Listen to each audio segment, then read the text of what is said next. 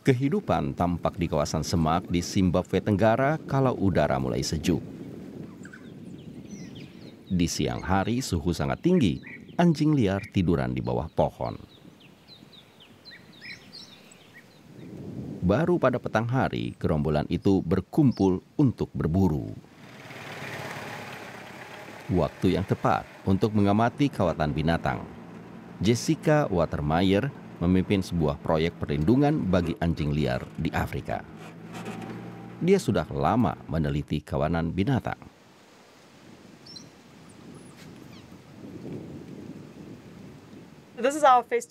Ini kawanan yang meriah karena motif kulit mereka sangat cantik dan warna-warni. Ini kawanan terbesar di kawasan konservasi ini. Sekarang ada 11 ekor hewan dewasa. Dan seperti Anda bisa lihat, mereka tidak pemalu, jadi bisa diamati dengan mudah.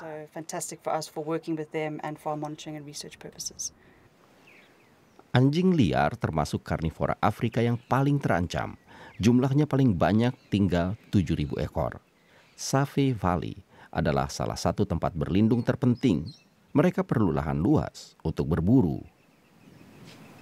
Mangsa utamanya antilop impala.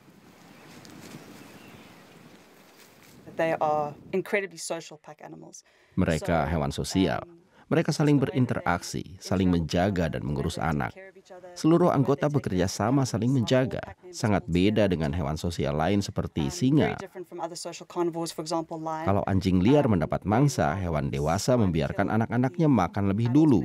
Mereka juga menjaga anggota yang terluka. Kelompok konservasi Safi adalah perhimpunan petani besar. Mereka membiayai lewat perburuan hewan liar secara terkontrol. Mereka melindungi hewan-hewan terlarang karena tidak ingin kawasan itu dijadikan lahan pertanian. Daerah semak di luar kawasan lindung sudah tidak ada. Populasi makin meningkat dan makin banyak lahan digunakan untuk pertanian dan peternakan. Konflik antara hewan liar dan manusia makin sering terjadi.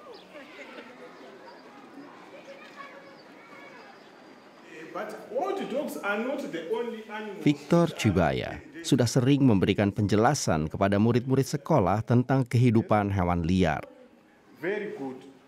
Tiga kali setahun dia dan rekan-rekannya datang ke sekolah-sekolah. Minat anak-anak besar karena di desa banyak orang tidak mengenal lagi cara menangani hewan liar. Masyarakat tradisional biasanya memburu hewan predator. Mereka membunuh binatang untuk mengambil dagingnya. Pengetahuan yang kami berikan sekarang bersifat ilmiah, yaitu bagaimana hidup bersama dengan karnivora besar dan mangsa-mangsanya.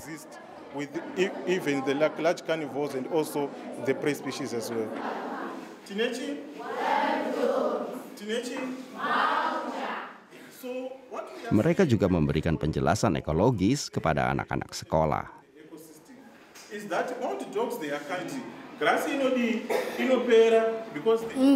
Ini sangat bagus untuk melindungi hewan.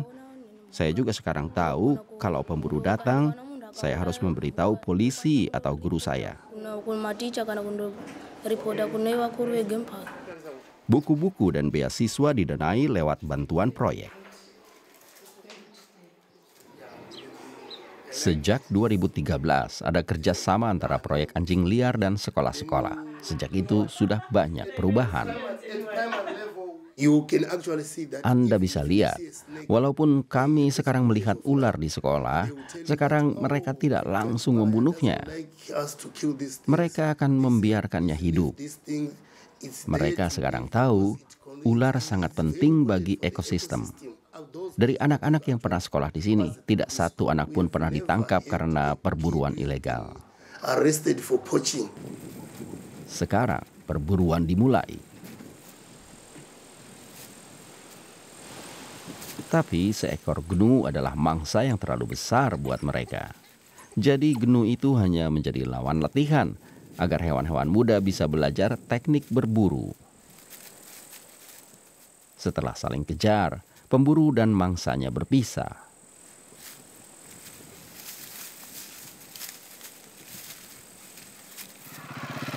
Hidup anjing liar memang terancam. Penjaga hutan ini baru saja berpatroli ketika dihubungi koleganya.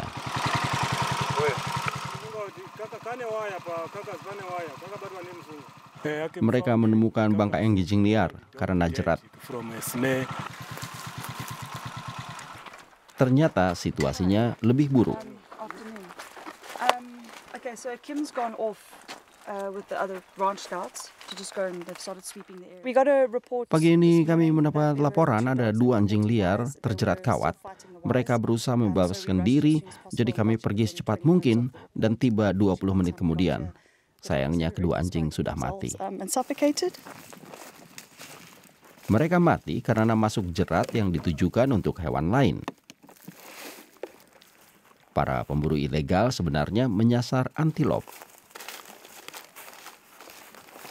Kedua anjing berusaha menggigit kawat sampai putus, tapi kawat itu terlalu kuat. Yang mati adalah hewan pemburu paling unggul dalam kawanannya.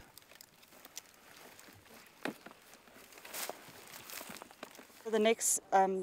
Kami sekarang akan bekerja sama dengan peternakan lokal untuk menyisir kawasan ini dan menyingkirkan sebanyak mungkin jerat macam ini. Idealnya jerat dihilangkan sebelum ada kejadian seperti ini. Tapi itu sulit dilakukan. Jebakan hampir tidak terlihat di semak belukar. Di sini saja para penjaga menemukan 50 jebakan. Anjing liar ini unik, tidak ditemukan di kawasan lain. Kami bertugas menjaga mereka dan memastikan mereka tetap ada bagi generasi mendatang. Jika mereka punah, mereka akan hilang selamanya. Anjing liar mendapat anak hanya sekali setahun. Untungnya, jebakan tidak mengenai hewan betina utama. Tetapi karena sekarang kehilangan pasangan, kemungkinan tahun ini tidak ada anak yang lahir.